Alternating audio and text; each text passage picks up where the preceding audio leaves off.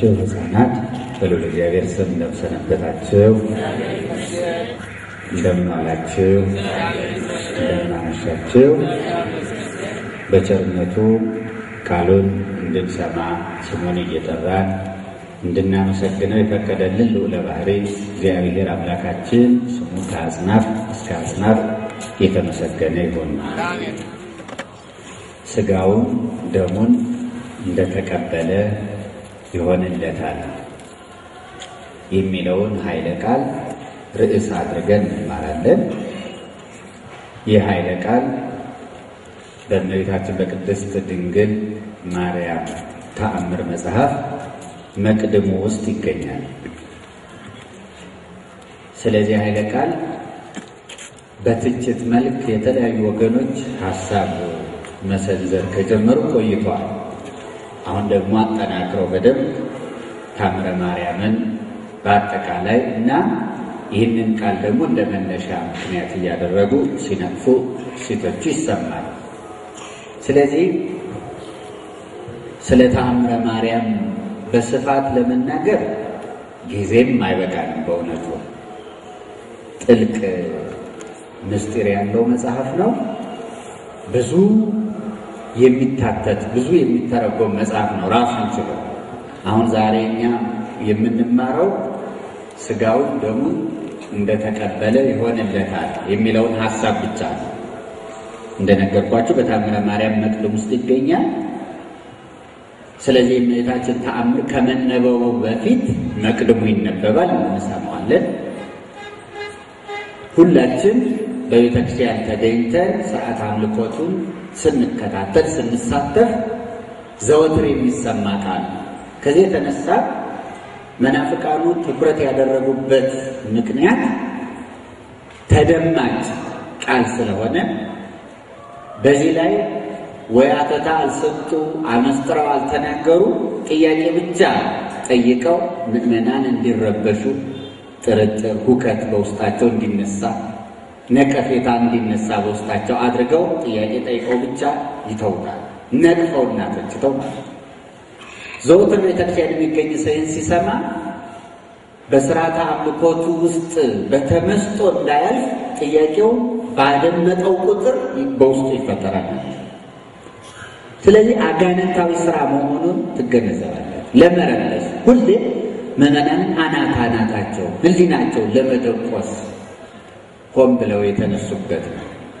እና እመቤታችንንም ለማጥላላት ለመንቀፍ ወደኋላ የማይሉ ከመሆናቸው የተነሳ እኛ በማክበራችን ብዙ ጸጋ ስናገኝ፣ ሰይጣን በአንጻሩ ደግሞ የስድብ ምላሱን ያስረዝማል። እነዚህንም ሰዎች ደግሞ ይጠቀምባቸዋል። ለወደደው ግብር ማለት ስለዚህ በመጀመሪያ ሥጋውን ደግሞ እንደተቀበለ ይሆንለታል ማለት ምን ማለት እንደሆነ ከመማራችን በፊት የተወሰኑ ነጥቦችን እንደ መግቢያ ማንሳት አለብን። አንደኛው መጽሐፍ ቅዱስ ትርጓሜ ያስፈልገዋል። ንባብ ይቀጥል ይላል ሐዋርያው ቅዱስ ጳውሎስ ፊደል ይገድላልና ወትርጓሜ ያሀይ ምስጢር ግን መንፈስ ግን ትርጓሜ ግን ያድናል፣ ሕይወትን ይሰጣል ይላል ቅዱስ ጳውሎስ። ይህንን በግልጽ ነው በእውነቱ ያሰፈረልን በቆሮንቶስ ክታቡ መልእክቱ ሁለተኛ ቆሮንቶስ ምን ይለናል? ንባብ ይገድላልና መንፈስ ግን ይላል። መንፈስ ማለት ምስጢር ማለት ነው፣ ትርጓሜ ማለት ነው። ንባብ ይገድላልና ካለ በኋላ መንፈስ ግን ትርጓሜ፣ ምስጢር ግን ሕይወትን ይሰጣል ይላል። ሁለተኛ ቆሮንቶስ ምዕራፍ ሶስት ቁጥር ስድስት ፊደል ይገድላልና መንፈስ ግን ሕይወትን ይሰጣል። ስለዚህ ቅዱሳት መጻሕፍትን ስናነብ ጥሬ ንባባቸው ላይ አይደለም ምስጢር ያለው ሕይወትም ድህነትም ያለው እዚያ ላይ አይደለም፣ ምስጢራቸው ላይ ትርጓሜያቸው ላይ አይደለም። እንጂማ በመጽሐፍ ቅዱስ ራሱ ከበድ ከበድ ያሉ ጽነት ያላቸው ድርቅ ያሉ ቃላቶች አሉ። በትምህርት ቤት በቤተ ክርስቲያን በመንፈሳዊ ትምህርት ቤቶች በአብነት ትምህርት ቤቶች ውስጥ ትምህርት ሲሰጥ ንባብ ሊሆን ይችላል። ትምህርቱ የንባብ ሊሆን ይችላል። የቃል ጥናት ሊሆን ይችላል። ዜማ ሊሆን ይችላል። በመጽሐፍ ቤት ደግሞ ትርጓሜ ሊሆን ይችላል።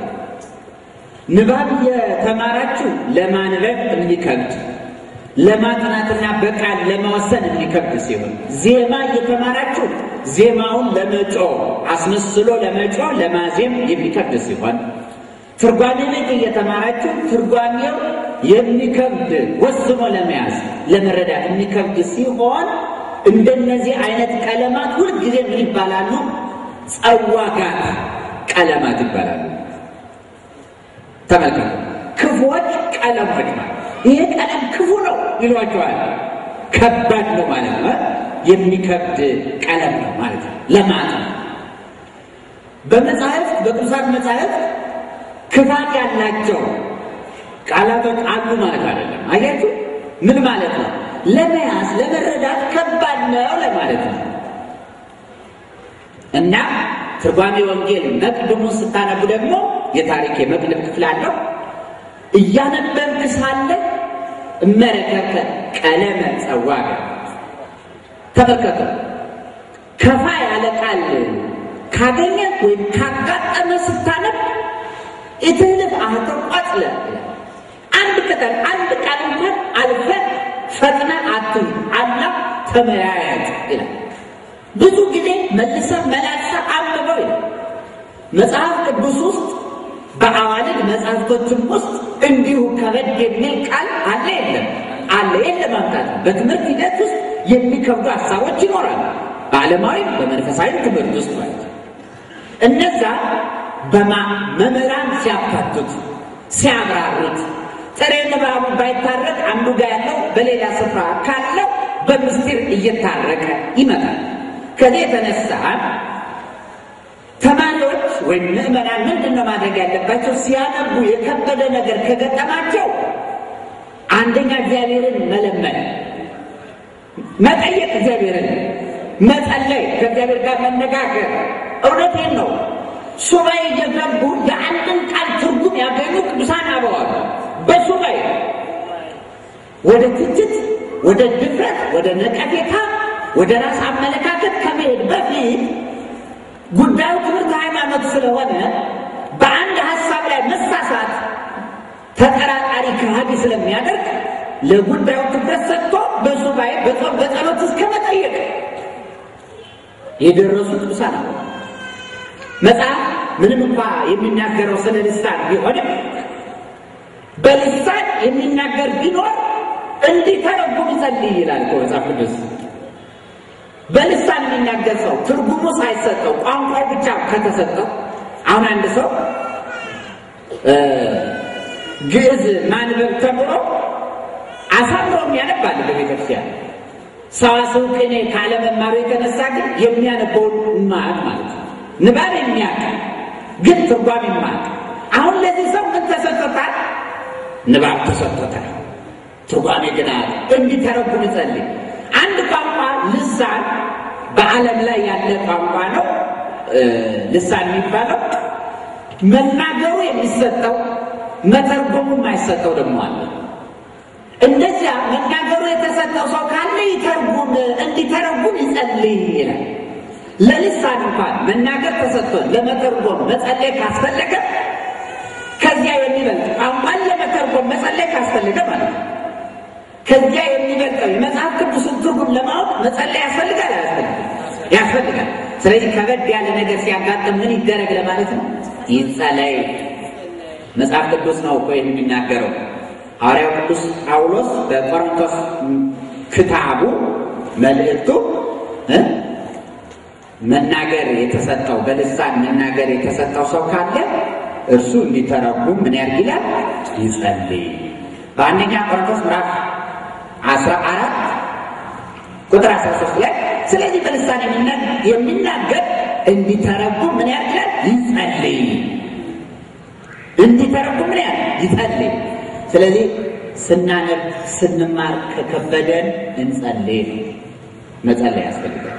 አንድ በሉ። ሁለተኛው ሰዓት አባቶቻችን አንብቡ ብቻ አይደለም ያሉ ስናነብ እንዴት መጸለይ እንዳለብን እንዴት አይነት ስርዓት ጠብቀን ማንበብ እንዳለብን በደንብ ሰርተውልናል። ከከበደ መላልሳ አንብብ፣ ትጋ፣ አጥናው ይላል። አያት ሁለተኛው አንዱ መጸለይ፣ ደጋግሞ ደግሞ ምን ማለት? ማንበብ፣ ተግቶ ማንበብ፣ አለመሰልቸት ሶስተኛው እንዲህ ያሉ ነገሮች ሲከብዱት ሰው ማድረግ ያለበት ሊቃውንቱን፣ መምህራኑን፣ አበውን መጠየቅ ተሳአሉ ለአቡከ አባትን ጠይቅ፣ ጠይቀው ይነግረሃል።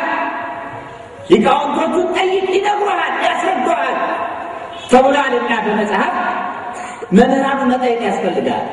መቼም ኢትዮጵያውያን ሆነን እና የኢትዮጵያዊ ጃንደረባ የባኮስ ታሪክ ታሪካችን ነው ብለን የምንፎክር የምንተርክኛ ሲከበድ ትርጉሙን ምስጢሩን መጠየቅን ማናቅ ከሆነ በእውነቱ ያሳፍራል።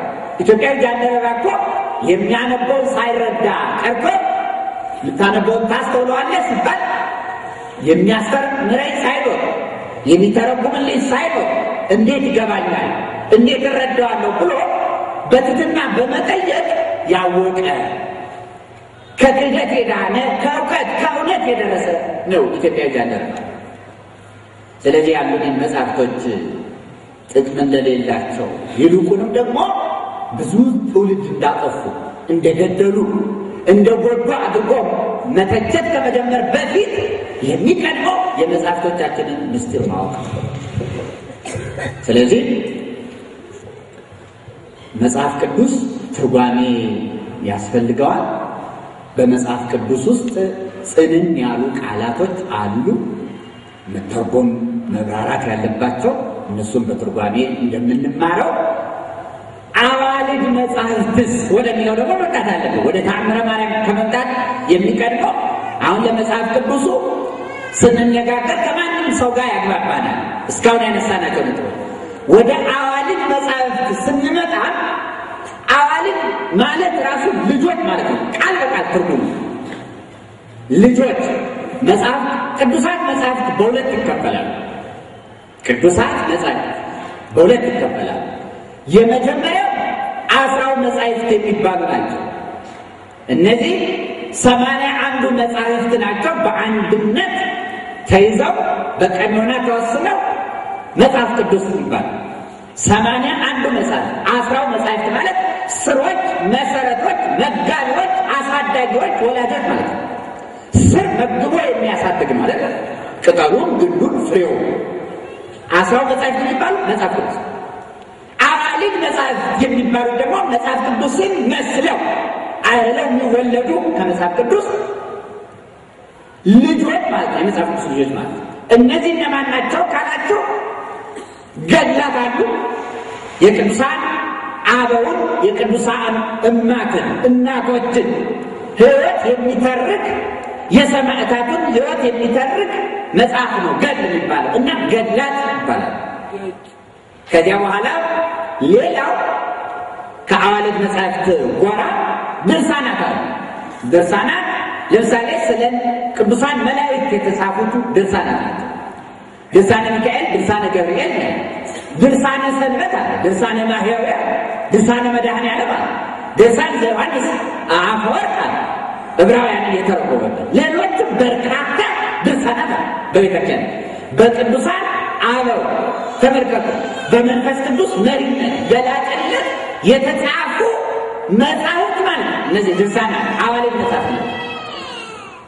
ሌሎች ደግሞ ከአዋልድ መጽሐፍ ቁጥር የሚገቡ ተአምራት ናቸው። ተአምረ ኢየሱስ፣ ተአምረ ማርያም እና የመሳሰሉት የተአምር መጽሐፍት ናቸው።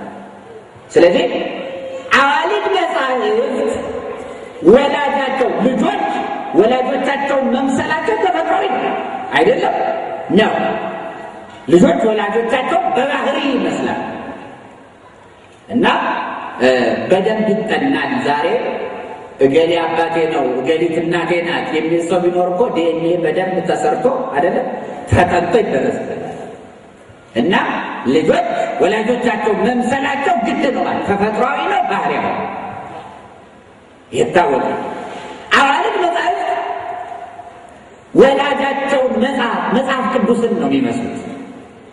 መምሰል እንዴት ነው? በጥራዝ ነው፣ በገጽ ቁጥር ነው፣ በተጻፉበት የወረቀት የብራና አይነት ነው ይመስላሉ የምንለው ግን ማለታችን ነው። አዋልድ መጽሐፍት እኮ መጽሐፍ ቅዱስን ይመስላሉ ስንል በገጽ ብዛት፣ በቀለም አጣጣል፣ በተጻፉበት ቋንቋ ማለታችን አለ።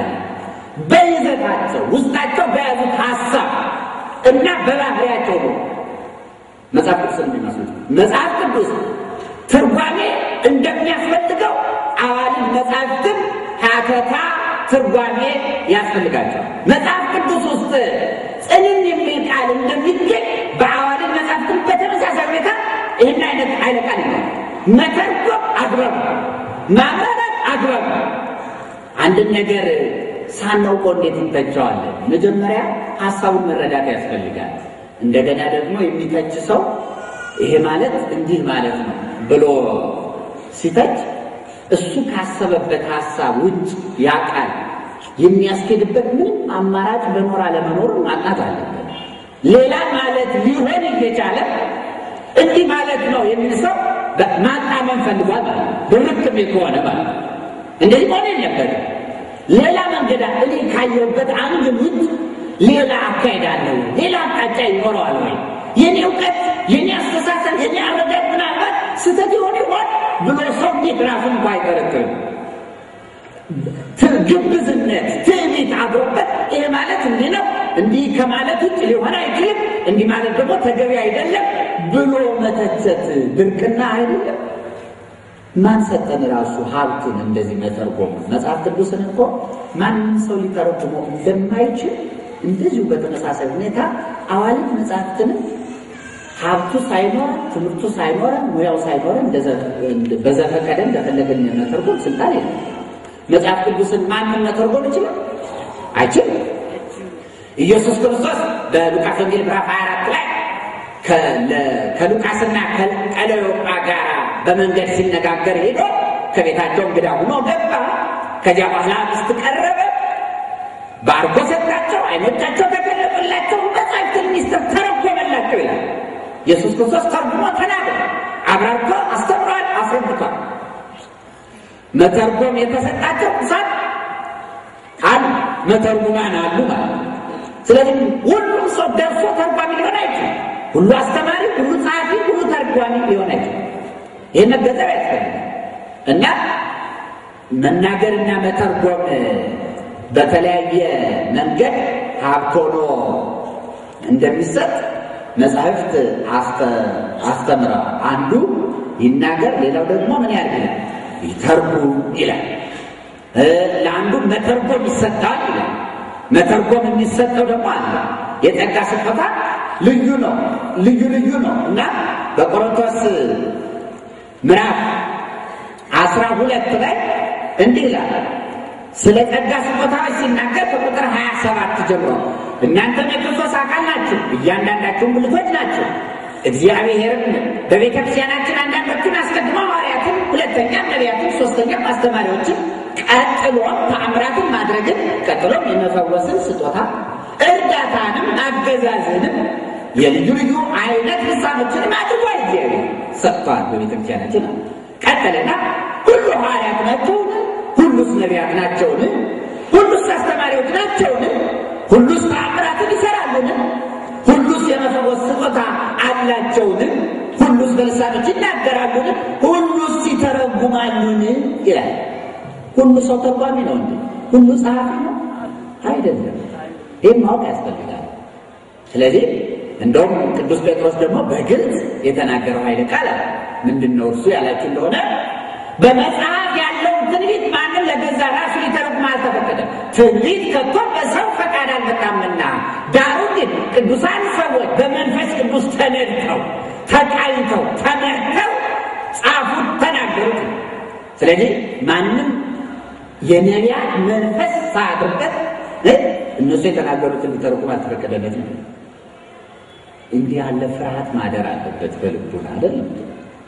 እና ሁሉ አንብቦ እንደፈለገ ተናጋሪ ወይም ተርጓሚ መሆን እንደማይችል በቅዱሳት መጽሐፍት ውስጥ ያለውን እውነታ መረዳት ያስፈልጋል። ስለዚህ አዋልድ መጻሕፍት የመጽሐፍ ቅዱስ ልጆች እንደመሆናቸው መጠን ትርጓሜ ያስፈልጋቸዋል። አንድ ነጥብ ነው። ከዚያ ባለፈ ሁሉ ደግሞ ተርጓሚ አይደለም። በዘፈቀደ እንደ ልባቸው እንዲህ ማለት ነው እያሉ የሚናገሩ ሰዎች ግር ሊያሰኙን አይገባም ይህን መመርመር ያስፈልጋል፣ ማስተዋል ያስፈልጋል። ቁም ነገሮች ናቸው። በርዕስ ወደ ተነሳንበት ሀሳብ ከመምጣት በፊት ልናውቃቸው የሚገቡ እውነታዎች ናቸው። መጀመሪያ ሰው እርካብ ሳይረግጥ ወደ እንትን ሰገነት አይወጣ ወደ ፈረስ ላይ ኮር ሳይረግጡ መዝለን መውጣት። ስለዚህ ሁሉ ነገር መሰረታ ስርዓትም አካሄድም እነዚህ አዋልድ መጽሐፍቶችን ለመተቸት በአጀንዳ የተነሱ አካላት እነማን እንደሆኑ እንዲህ የመተቸት ስልጣኑ፣ ብቃቱ፣ እውቀቱ እንኳን መንፈሳዊነቱ መንፈሳዊ መጽሐፍትን ለመተርጎም መንፈሳዊነት ይፈልጋል። እንኳን መንፈሳዊነቱ ተምረው አጥንተው የሚያውቁት እውቀቱ እንኳ አላቸው ወይ የሚለውን መጠየቅ ያስፈልጋል። ስለዚህ እነዚህን ነጥቦች መረዳት በመጀመሪያ ከዚያ በኋላ ከአዋልድ መጻሕፍት መካከል አንዱ የተአምር መጽሐፍ ነው ብለናል አይደለም? የምንናገረው አሁን ስለ ተአምረ ማርያም ነው። በነገራችን ላይ ተአምረ ማርያም የመጽሐፉ ርዕስ ነው። ተአምረ ማርያም እና እመቤታችን ቅድስት ድንግል ማርያም እግዚአብሔር ከእርሷ ጋር መሆኑ መልአኩ ነግሯል፣ መስክሯል አይደለም እና ተፈሴ ፍስህ ኦ ምልዕተ ጸጋ እግዚአብሔር ምስሌኪ። እግዚአብሔር ከአንቺ ጋር ነውና። ጌታ ከአንቺ ጋር እግዚአብሔር ከእሷ ጋር ሁሉን የሚችል አምላክ ሁሉን ቻይ አምላክ ከእመቤታችን ጋር ከነፍሷ ነፍስ ከስጋዋ ስጋ ነስቶ ከእሷ ተወልዷል። እማ አምላክ ወላዲተ አምላክ ስትባል ለዘላለም ትኖራለች። መንፈሱ ጸጋው ሀብቱ ከዚያም አስቀድሞ ተለያት። ከዚያም በኋላ እግዚአብሔር ከእሷ ጋር እንዳለ ይሆናል። ስለዚህ ተአምረ ማርያም እመቤታችን ከእግዚአብሔር ተለይታ በግሏ እንደሰራችው ስራ አድርገን ማሰብ የለብንም። ተአምረ ማርያም ተአምረ ማርያም ስለተባለ ማለት ነው። ተአምሩ የማን ነው? የእግዚአብሔር ነው። ተአምሩን የሰራ ማን ነው? እግዚአብሔር መጽሐፍ ምን ይላል መሰለህ? ወዘእመቤሰ አልቦ ዘትኩ ገቢረ ወኢምንትን ያለ ምንም ምን ልትሰሩ አትችሉም። በቃ ነው። ማንም ሰው አንድ ስራ መስራት የሚችለው በእግዚአብሔር ጸጋ፣ በእግዚአብሔር ስጦታ፣ በእግዚአብሔር ቸርነት ነው። ይሄንን ለሐዋርያት ያሳሰባቸው ነው። አነ ውእቱ ጉንደ ወይን፣ እኔ ወይን ግንድ እናንተ ደግሞ ቅርንጫፎች ናቸው። ቅርንጫፍ በግንዱ ላይ ሳለ ተጣብቆ ሳለ አብሮ ሳለ ሊያፈራ ይቻላል። ከተለየ እናንተ ከኔ ከተለያችሁ ምንም አትሰሩ፣ ምንም መስራት አትችሉም ብሎ ቁርጥ ቃል ለሐዋርያት ነግሯቸዋል። ይህ በዮሐንስ ወንጌል ምዕራፍ አስራ አምስት ቁጥር አንድ ላይ ተጻፈ። ያለ እኔ ምንም ምን ልታደርጉ አትችሉም ብሎ ገልጾ ተናግሯል ኢየሱስ ክርስቶስ። ኩላኬ ፍድፋዴ ይላል የትትፈጸም ዘእንበለ በረድኤተ እግዚአብሔር አንዳች ነገር ብትሆን እንደው ከፍ ያለች የተሻለች የተሳካች የምትባል ስራ ሁሉ እንኳን ተአምራትን ማድረግ ከፍ ያለው ስራ ይቅርና ማንኛውም ስራ ሁሉ ኢትትፈጸም ዘእንበለ በረድኤተ እግዚአብሔር ያለ እግዚአብሔር አጋዥነት ያለ እርሱ ረዳትነት አትፈጸምም። መንፈሳዊ መጽሐፍቶቻችንን ስናነብ እንዲህ የሚል ቃል የምናገኘው ከዚህ የተነሳ አምኜ አብን ወላዲ ብዬ፣ በወልድ ስም አምኜ ወልድን ደግሞ ወልድ ልጅ ተወላዲ ብዬ፣ በመንፈስ ቅዱስ ስም አምኜ መንፈስ ቅዱስን ሰራጤ ብዬ ምንም ለአጠይቆታ አካላት አካላትን ለማስረዳት በስም በግብር በአካል ሶስት ልክ በባህሪ በአገዛዝ በስልጣን አንድ አምላክ ብዬ አምኜ ረድኤተ እግዚአብሔርን አጋዥ በማድረግ አይደለም? ረድኤተ እግዚአብሔርን አጋዥ በማድረግ ይህንን መጽሐፍ መጽሐፍ እጀምራለሁ። ይህንን ጸሎት እጀምራለሁ፣ ይህንን ስዕል እጀምራለሁ ይላሉ። ስራቸው የሚጀምሩት ያለ እግዚአብሔር አጋዥነት እማር፣ አስተምር፣ እጽፍ፣ እደጉስ ቢሉ አይቻልምና ምንም ከቶ ማንኛውም ስራ ያለ እግዚአብሔር እርዳታ አይሰራም። ስለዚህ ተአምረ ማርያም ርዕሱ ተአምረ ማርያም ቢልም በእግዚአብሔር ቸርነት በእመቤታችን አማላጅነት በእመቤታችን ቃል ኪዳን የተሰራ ስራ ስለሆነ እግዚአብሔር ከእርሷ ጋር ሆኖ የተሰራ ስራ ስለሆነ ለእግዚአብሔር ሰጥተነው ተአምረ እግዚአብሔር ብንለው እግዚአብሔር ሁልጊዜ ተአምር አድራጊ ነው። እግዚአብሔር እንደው ተአምረኛ ተብሎ የሚደነቅ ነው። በእውነቱ ሁልጊዜ እኮ እሱ ይሄን ሰሪ ነው። በቅዱሳን ግን ድካም ባለባቸው ድክመት በሚስማማቸው በቅዱሳን ግን እግዚአብሔር ተአምር ሰብቶ ቢገኝ በቅዱሳኑ ድንቅ ነው ይሌለ እንዴ የዚያን ጊዜ ተአምሩ ይጎላል። አቤት የእግዚአብሔር ቸርነት! ሰው ሲታይ እኮ ደካማ ግዙፍ ነው፣ መዋቲ ነው። በመዋቲ ሰው ይህን አይነት ስራ መስራት አቤት የእግዚአብሔር ቸርነት ያሰኛል። ተአምሩ እጹብ ድንቅ ያሰኛል። በእመቤታችን አማላጅነት በቃል ኪዳኗ በእርሱ ቸርነት የተከናወነ ስለሆነ ተአምሩን ድንቅ ለማሰኘት መጽሐፉ በእመቤታችን ስም ተሰኝቷል እንጂ ተአምረ ማርያምን የሚቃወም የእግዚአብሔርን ስራ ነው የሚቃወሙ እንጂ እመቤታችን የሚቃወም እንዳይመስላችሁ። ከዚያ እሷን ከመቃወሙ በፊት የተቃወመው ፈጣሪ ነው። ይህን ማወቅ ያስፈልጋል። እናንተን የሚቀበል ይቀበላል። እናንተን የሚጥል ከእናንተ በፊት እኔን ጥሏል፣ እኔን የጣለ ይላክኝ ጥሏል ቢሆን ሐዋርያትን መጣል እኮ ሐዋርያትን ማቃለል መጀመሪያ የላካቸውን ማቃለል ይህንን መቃወም የእመቤታችን የታምር መጽሐፍ ማክፋፋት፣ ማጣጣት፣ መናቅ፣ መሳደብ፣ መዘበት እመቤታችንን ማቃለል ብቻ መስሎ እንዲታይ አያስፈልግም። ባለቤቱ እግዚአብሔርን ነው እየተቃወሙ ያሉት። እነዚህን ነጥቦች መጀመሪያ ማየት ስለሚያስፈልግ ነው። ታዲያ ታምረ ማርያም በእመቤታችን ስም የተሰየመ የእግዚአብሔር ሥራ የሞላበት መጽሐፍ ነው። በእመቤታችን ስም መሰየሙ እመቤታችንን ለማዘከር፣ ለማክበር፣ ለማወደስ ነው። እግዚአብሔር በቤቱ በቅጥሩ ስም ሊሰጥ ለቅዱሳን የገባው ቃል ኪዳን ስለሆነ የማቴዎስ ወንጌል ወንጌሉ የማቴዎስ ነው። የማርቆስ ወንጌል የማርቆስ ነው። የሉቃስ ወንጌል የሉቃስ ነው ወይ ወንጌሉ? የዮሐንስ ወንጌል የዮሐንስ ነው። ወንጌሉ የባለቤቱ የኢየሱስ ክርስቶስ የእግዚአብሔር ነው፣ የፈጣሪ ነው ወንጌሉ። ነገር ግን ጽፈውት የለ እንዴ? የእነርሱን ድርሻ ጎላ አድርጎ መጽሐፉ ለእነሱ ምን ሆነ ማለት ነው? መታሰቢያ ሆነ ማለት ነው። ይከበርበት አይመሰል። ተአምረ ማርያም ስራው የእግዚአብሔር መታሰቢያነቱ ግን ለማን? ለድንግል ማርያም። የመርሳት የለበት በቤቴ በቅጥሬ ከወንዶችና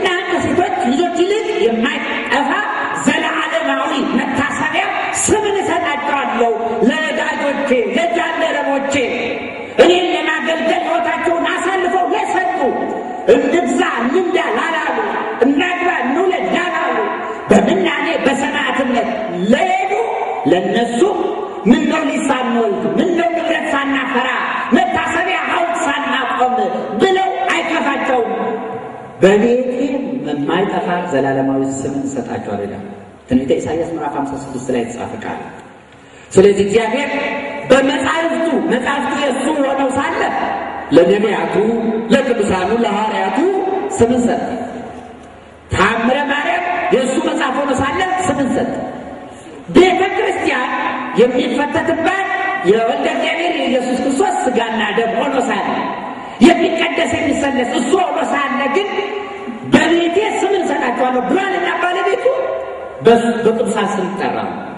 በቤታችን በእመቤታችን ስም የተሰየሙ አብያተ ክርስቲያናትን ውስጥ አስቡ፣ ቁጠሩ። በቅዱስ ሚካኤል፣ በቅዱስ ገብርኤል፣ በቅዱሳን ሐዋርያት ስም የተሰየሙ አብያተ ክርስቲያናትን አስቡ፣ ቁጠሩ። በጻድቃን በቅዱሳን ሁሉ ለምን በቤቴ ስም እንሰጣቸዋለሁ ያለ እሱ ነዋ። ስለዚህ ታምረ ማርያም የአምላክ ሥራ የተጻፈበት መጽሐፍ ነው።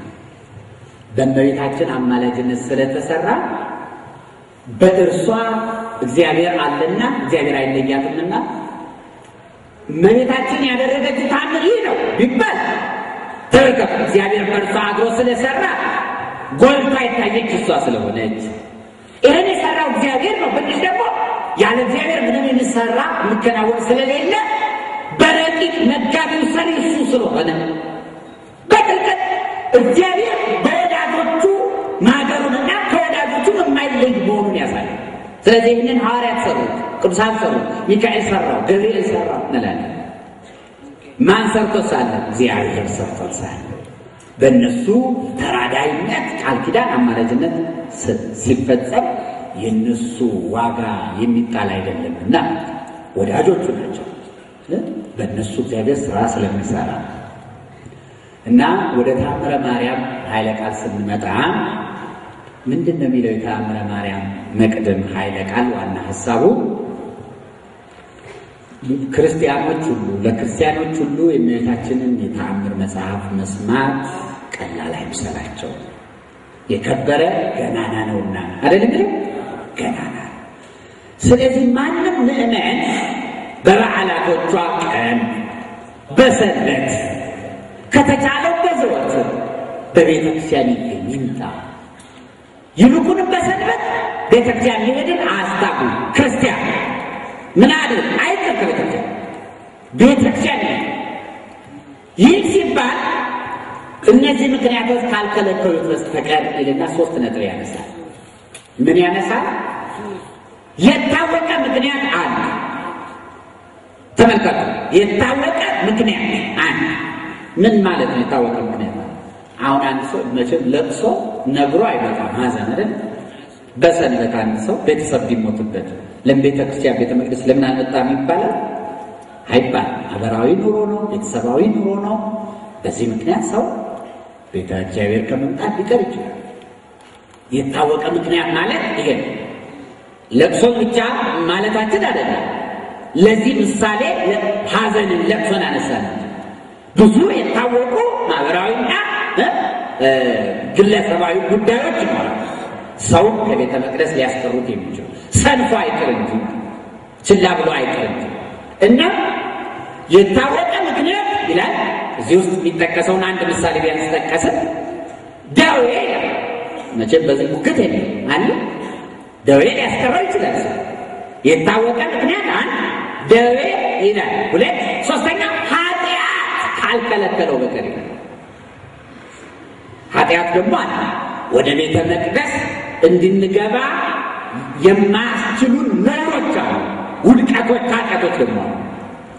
እነዚህ ካልከለከሉት በስተቀር ማንም ማን የት ይምጣ ቤተክርስቲያን ታምረ ማርያም አጻጻፉን ዘሎ ወርዶ አይ በቃ እንደው ስጋው እንደው እንደተቀበለ ይሆንለታል ይላል ብሎ ይህን ቃል ከማንበብ በፊት ከመናገር በፊት ከፊት ምን ተጽፏል የሚለው ማየት ይገባል አይገባል? መጽሐፍት ሲተረጎማሉ። ሲተረጎሙ ደግሞ ደንብ አላቸው፣ ስርዓት አላቸው።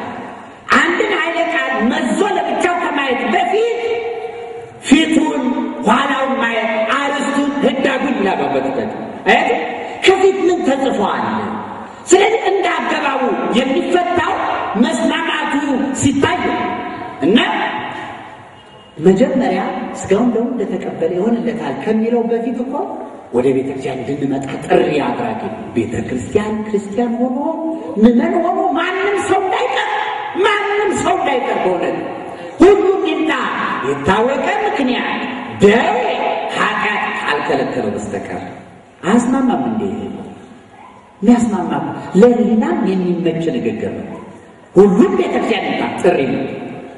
ይምጣ የእመቤታችንን ተአምር መጥቶ ያልሰማ ስርዓተ ጸሎቱን ቅዳሴውን ያልተሳተፈ ሰንፎ ከሆነ አባቶቻችን አውግዘዋል። አውግዘዋል አላውግዘዋል? አውግዘዋል። አውግዘዋል ማለት ማለት ነው? መናፍቅ ነው ከሃዲ ነው ብለው ለይተውታል ማለት አይደለም። ትምህርተ ውግዘት የሚል መጽሐፍ አለ። በእውነቱ ፈልጋቸው አንብቡት። ውግዘት ማለት ምን ማለት እንደሆነ የሚያብራራ ትምህርተ ውግዘት ውግዘት ሰው ከሃዲ መናፍቅ ሲሆን የሚለይበት ሀሳብ ምን ውግዘት ይባላል። አንዱ ይሄ ግን ማውገዝ ማለት ወቤተ ክርስቲያን ታወግዞ ይላል። ማውገዝ ማለት ሁልጊዜ መለየት፣ ቤተክርስቲያን እንዳይደርሱ ከሃዲ ዓለማዊ ብለን መለየት ብቻ መንቀፍም ማውገዝ ይባላል። ከነ ማስረጃው ስለተቀመጠ መጽሐፍ እንድታነቡ ነው የቤት ስራ ሰጣቸው። ተመልከቱ እና ውግዘት መንቀፍ ቤተ ክርስቲያን መጥቶ ታምሯን ያልሰማውን ከስርዓተ ጸሎት ያልተሳተፈውን አባቶቻችን አውግዘዋል ማለት ባለመምጣቱ ብቻ ተወግዟል ተለይቷል ማለት አይደለም። ነቅፈዋል ፍቺ ይኖራል። ውግዘት ብዙ አፈታት እስካለው ድረስ እኛ በምናውቀው በአንድ ብቻ ልናስኬደው እንችል ማለት አያችሁ? እና የማይመጣው ደግሞ ክዶ ቤተክርስቲያንን ነቅፎ ከሆነ ደግሞ መረር ያለው ውግዘት ውስጥ ይገባል በራሱ ፈቃድ። ምንም ጥያቄ የለም።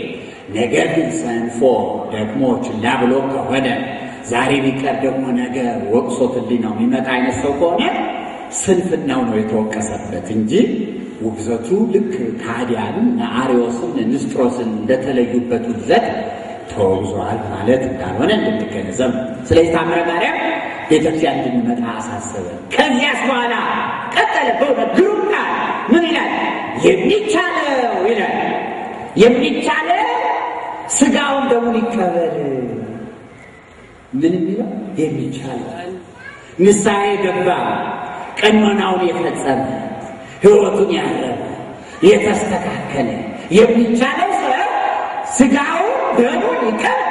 የማይቻለው ሳ የማይቻለው ግን ካልተቻለው ግን ይላል ካልተቻለ እንጂ ካልፈለገ አይሉ ልብ በሉ ቃሉ ልቅም ያለ የተነቀሰ ቃል ምንድን የሚለው? የማይቻለው ከሆነ ይላል እንጂ ካልፈለገ አይደለም። ካልመሰለው እንደዛ አይደለም። ካልተቻለው ማለት በቃ ምን ማብራሪያ ያስፈልጋል? ካልቻለው ማለት እኮ ከአቅሙ በላይ ከሆነ ማለት ነው። ስለዚህ የእሱ ፍላጎት አይደለም እንዳይቀበል ያደረገ ከእሱ ፍላጎት ውጭ በሆነ በሌላ አፋዊ ምክንያት የማይችል ሆኗል ማለት ነው። ካልተቻለው ነው ካልተቻለው ምን ያለ ታምሯን ሰምቶ ይሄድ ይቀጥልና ስጋውን ደግሞ እንደተቀበለ ይሆንለታል የሚለው አያችሁ።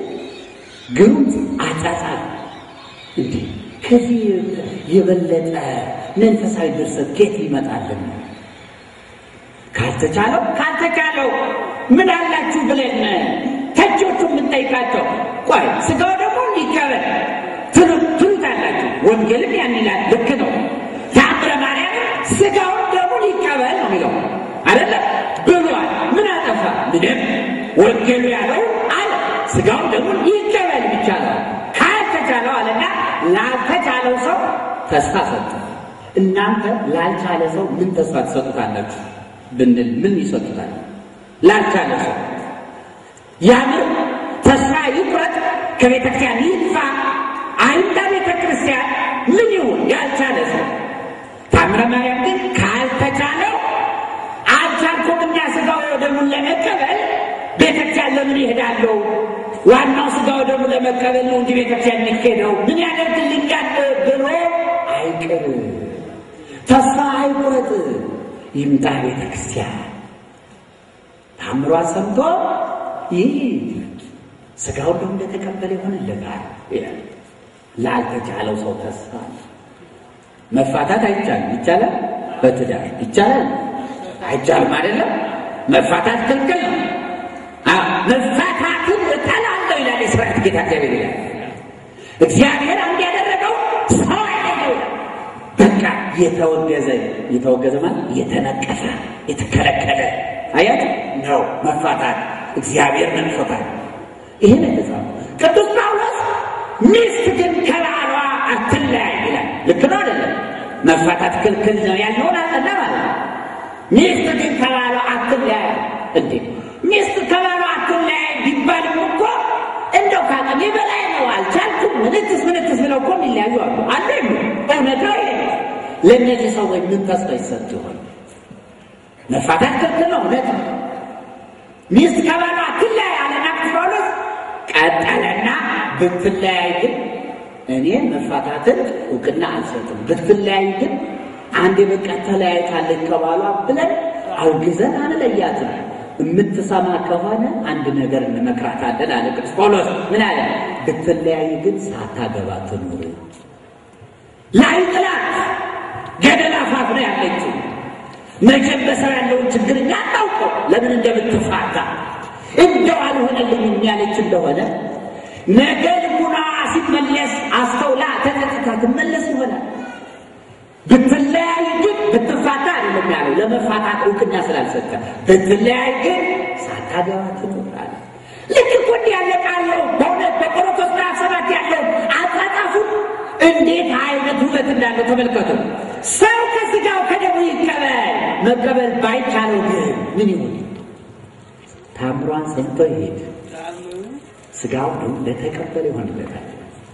አሁን ሰነፎች ያሰንፋል፣ እኮ ቃል ያሰንፋል። በእውነት ስጋው ደግሞ እንዳንቀበል ይላል።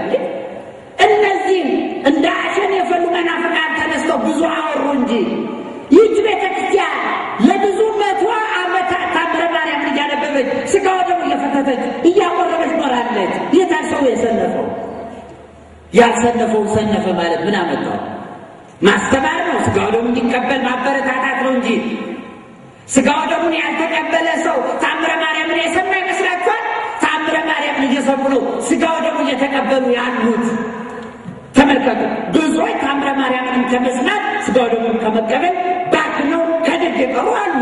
ታምረ ማርያም ስጋው ደግሞ እንዳይቀበሉ ለሰዎች ምክርም ትምህርትም አልሰጠም፣ አያሰንፍም። ያሰንፋል የሚለው የውሸት ክስ ነው። ይህም ብቻ አይደለም። ስጋው ደግሞ እንደተቀበለ ይሆንለታል እንዴት ይባላል? ከማስነፉም ሌላ ታምረ ማርያምን መስማት ስጋው ደሙን ከመቀበል ጋር የተካከለ አድርጎ ማስቀመጥ ስጋው ደግሞ መንቀፍ ነው ማቃለል ነው ይላሉ። ውሸት ራሳቸው የፈጠሩት ልባቸው የወለደው ውሸት። እንዴት ልትሉ ትችላለን? ሲጀምር እነዚህ ሰዎች ለስጋው ደግሞ ተቆርቋሪም አይደለም። ሲያሻቸው ኬክ ቆርሰው ስጋው ደግሞ ነው የሚሉ። ሲያሻቸው በቪንቶ በኮካ ስጋው ደግሞ አቀበልን ተቀበልን የሚሉ። ሲያሻቸው መታሰቢያ ነው እንጂ አማናዊ አይደለም ብለው የሚነቅፉ። ሲያሻቸው ስርዓት ነው ስጋው ደግሞ መቀበል አያድንም ማመን ብቻ ነው የሚያድነው ብለው እንደ ልባቸው የሚናገሩ ሰዎች ደርሶ በኢትዮጵያ ኦርቶዶክስ ተዋሕዶ ቤተክርስቲያን ውስጥ ተቆርቋሪ ሆነው ለስጋው ደግሞ ተናጋሪ መምሰላቸው ማንነታቸውን ያጎላል እንጂ ምንም ደግሞ ነገር የለም። ለስጋው ደግሞ ተቆርቋሪ አይደለም። አንድ ሁለተኛ ስጋው ደሙን መቀበልና ታምረ ማርያምን መስማት እኩል አድርጎ ታምረ ማርያም ጽፎታልና ልንቀበለው አይገባም ማለታቸው የእነሱ ፈጠራ ነው እንጂ ታምረ ማርያም ስጋው ደግሞ መቀበልን ታምሯን ከመስማት ጋር እኩል አላረገው። እንዴት አላረገው? የሚቻለው ስጋው ደሙን ይቀበል ነው የሚለው ቀን ማለት ያልተቻለው ታምሯን ይስማ ነው። ቢሆን ኖሮ አላስተካከለውም እንጂ ገለጻው እንዴት ይሆን ነበር? የሚቻለው ስጋው ደሙን ይቀበል፣ የሚቻለው ሰው እንዲሁ ደግሞ ታምሯን ይስማ። ስጋው ደሙን መቀበል ካልተቻለው ግን ታምሯንም ለመስማት ብቁ ስላልሆነ ታምሯን እንዳይሰማ ይወጣ ነበር የሚባለው አይደለም። አነጋገሩ እንደዚህ ተካክሎ ቢሆን እንደዛ ነበር የሚባል። ነገር ግን ስጋው ደሙን ለመቀበል ባይቻለው ታምሯን ይስማ ማለት ስጋው ደሙን ለመቀበል ባይችልም ስጋው ደሙን እንዳይቀበል ያደረገው ምክንያት ታምሯን እንዳይሰማ አይከለክለውም። እሱን ይስማ፣ ለዚህ ባይበቃ ለዚህ ይበቃል ነው የሚለው።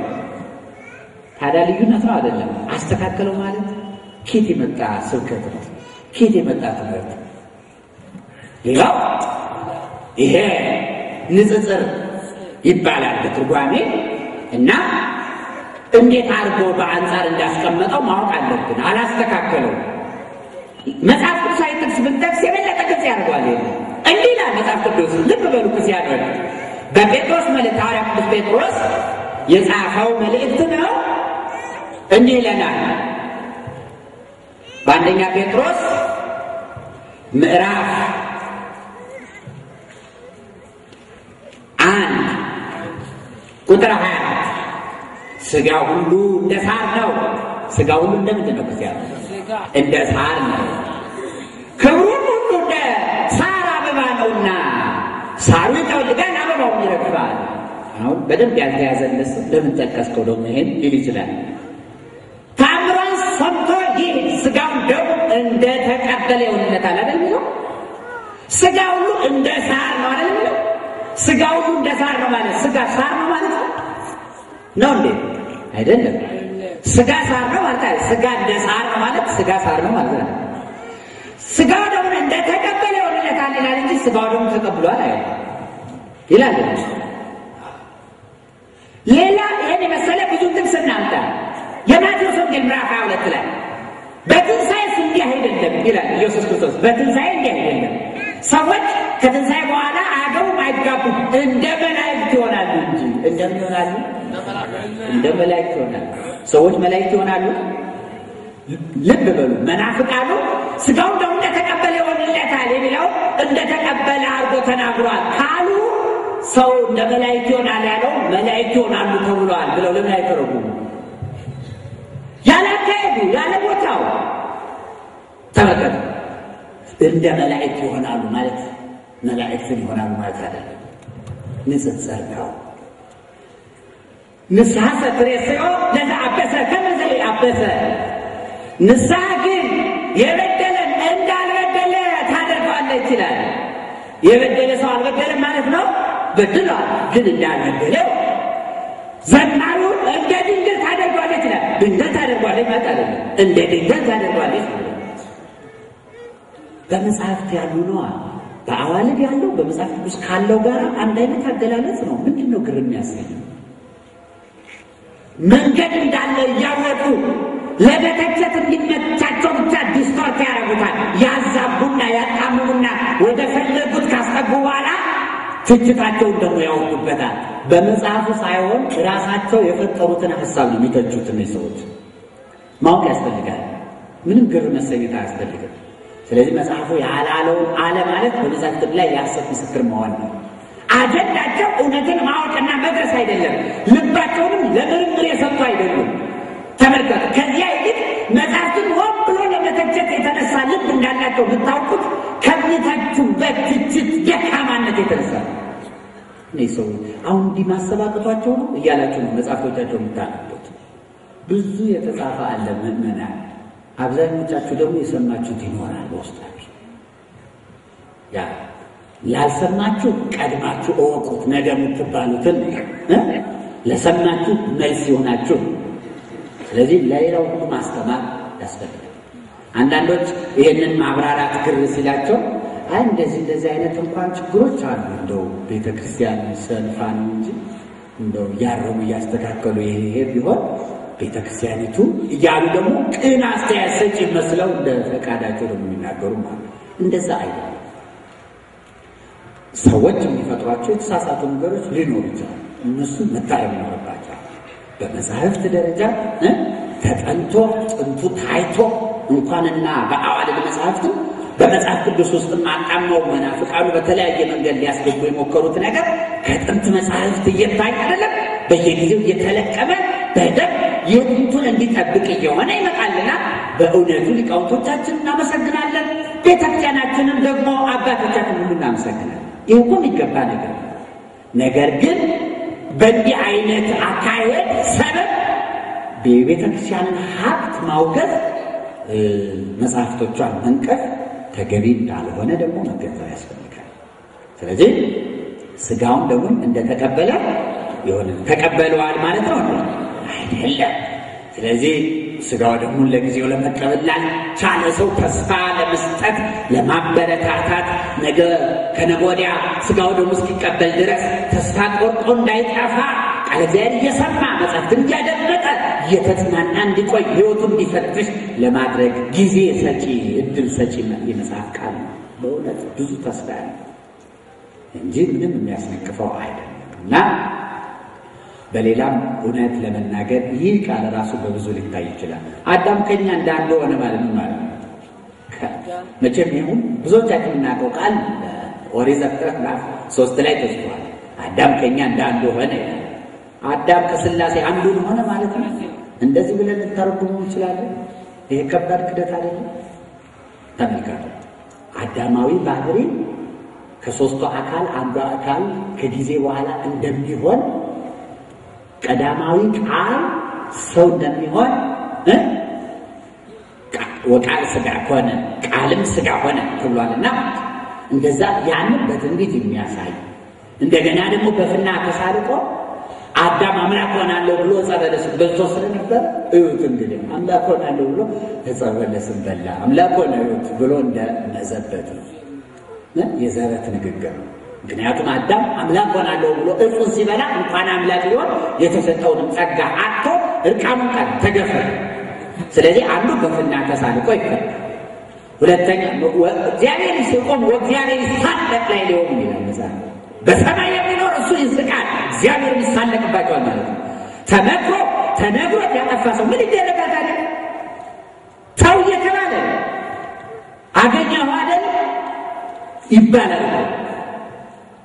ተመልከቱ እና ክርስቲያኖች በእውነቱ ብዙ ነጥቦችን ከግምት ውስጥ ማስገባት ያስፈልግ። ሌላው በጣም ጥሩ ነገር ደግሞ ተአምረ ማርያም ገና ርሱ ተአምረ ማርያም ወደ የተአምራት ስብስብ ነው ማለት ነው። ተአምር ደግሞ የሚፈልገው አንድ ነገር አለ። አንድና አንድ ብቻ እምነት። ያመነ ይቀበለዋል፣ ያላመነ ምን ያደርገዋል? አይቀበለውም። እራሱ ስጋው ደም እንደተቀበለ ይሆንለታልና መስፈርት የሚያደርገው ምንድን ነው? ይደረግልኛል በማለት ቢሰማ አምኖ ቢሰማ ይ ምን ነው መናፍቃን ምግባር አያስፈልግም፣ ስርዓትም አያስፈልግም፣ ማመን ብቻ ነው ብለው ሲያሻቸው ስለ እምነት ተሟጋች ይሆናሉ። ይሄ መጽሐፍ እኮ እምነትን የሚያጎላ መጽሐፍ ማለት ታምረ ማርያም ይደረግልኛል በማለት ቢሰማ ብሎ እምነትን መስፈርት አድርጎ የሚናገረውን መጽሐፍ ሲተቹ መገኘታቸው ለምንድን ነው? ካመነ ደግሞ ለሰው የማይሆንለት ምን አለ? ካላመነማ ስጋ ወደሙ ስጋ ወደሙ ይሆንለታል ለሰው ካላመነ፣ ካመነ ደግሞ ይሆንለታል። ምን ጥያቄ አለው? ስለዚህ ይደረግልኛል በማለት ቢሰማ የሚለው እምነትን መስፈርት ያደረገ ቃል ነው። ተአምረ ማርያም የተአምር መጽሐፍ ነው። የተአምር መጽሐፍ ደግሞ እነሱ በሚሉት ጥቅስ ማብራሪያ ምናምን አይተረጎምም። ጠባዩ ልዩ ነው። ተአምር ጠባዩ ልዩ ነው። ይህን ማወቅ አለባቸው። መጽሐፉ ምንድን ነው? የተአምር መጽሐፍ ማለት ነው። የተአምር ጠባይ ደግሞ ልዩ ነው። ተአምር ተአምር የሚባለው ሕገ ወጥ ሲሆን ነው። ታውቃላችሁ። በዚህ ዓለም ላይ የተጻፈ ሕግ አለ፣ ተፈጥሯዊ ሕግ አለ። በተጻፈው መንገድ አንድ ነገር ሲሄድ ተአምር ይባላል። በተጻፈለት ስርዓት መሰረት ሲሄድ ተአምር አይባልም። የተፈጥሮ ሕግ አለ። አንድ ነገር በተፈጥሮ ሕግ ሲሄድ ተአምር ይባላል። አሁን አንድ ሰው ቀስ ብሎ ነው የሚያድገው። ሰው አድጎ የዛሬ ሰላሳ ዓመት ሲወለድ አንድ ፍሬ ልጅ ነበረ። ተአምር ነው በሰላሳ ዓመቱ ይሄን ማቀሉ የሚላችሁ ሰው አለ አለ እንዴ? ወይ ተአምር ይላል እንዴ? በተፈጥሮ ስርዓት ካደገ አደገ ነው። ተአምር አንለው እንለዋለን እንዴ? ተአምር ታዲያ ተአምር የሚባለው መቼ ነው? ህገ ወጥ ሲሆን አንድ ሰው ዛሬ ተወልዶ ነገ ቢሄድ ይሄ ተአምር ነው አይደለም? ህገ ወጥ ነው ማለት የተፈጥሮን ህግ የጣሰ ሲሆን እውነት ነው። ሰው ስጋውን ደም ተቀብሎ ንስሐ ገብቶ በመጽሐፍት የተጻፉትን ስርዓቶች መንገዶች ጠብቆ ከእግዚአብሔር ጋር ታርቆ የዘላለም ሕይወት ያገኛል።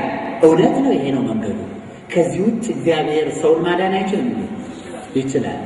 ተአምር የሚባለው አያችሁ፣ በመጽሐፍ ከተጻፈው ከኖርማል መንገድ ከትክክለኛው ስርዓት ውጭ በሆነ መንገድ የሚከናወኑ ነገሮች የሚመዘገቡበት ነው። ታዲያ የተአምር መጽሐፍን በመጽሐፍ ቅዱስ እየመዘኑ በዛ ሕግና ስርዓት መሰረት እየመዘኑ መናገር አግባብ ነው ወይ? ተአምር ምን ማለት እንደሆነ ራሱ አለማወቅ አይመስላችሁ? ተአምር አልገባቸው ማለት የተአምር መጽሐፍ ታዲያ ይህ ተአምር ነው እያልን ስናስረዳቸው ጸሐፊዎቹ ያሉትን ነው ቃል በቃል የምነግራቸው። አንዳንዶች ይህ እንዴት ይሆናል ስንላቸው ኦርቶዶክሳውያኑ ይሄማ ለእግዚአብሔር የሚሳነው ነገር የለም ይሉናል። የፈረደበት ቃል አለ ለእግዚአብሔር የሚሳነው የለም ይሉናል። ይሄ እንዴት ይሆናል ስንላቸው እያለ ነው የሚተቸው። ታዲያ ለእግዚአብሔር የሚሳነው ነገር የለም ከማለት ውጭ ምን እንመልስለት? ለእግዚአብሔር የሚሳነው ነገር የለም ያለው መልአኩ ቅዱስ ገብርኤል አይደለም? የተጻፈው በሉቃስ ወንጌል አይደለም? የመጽሐፍ ቅዱስ ክፍል አይደለም? ከመጽሐፍ ቅዱስ ጥቅስ ውጭ ምን ጠቅሰን እንድናስረዳው ነው የሚፈልገው? ይህን ቃል ከተቸው ተመልከቱ። ይሄ እኮ የፈረደበት ቃል የሚባል አይደለም።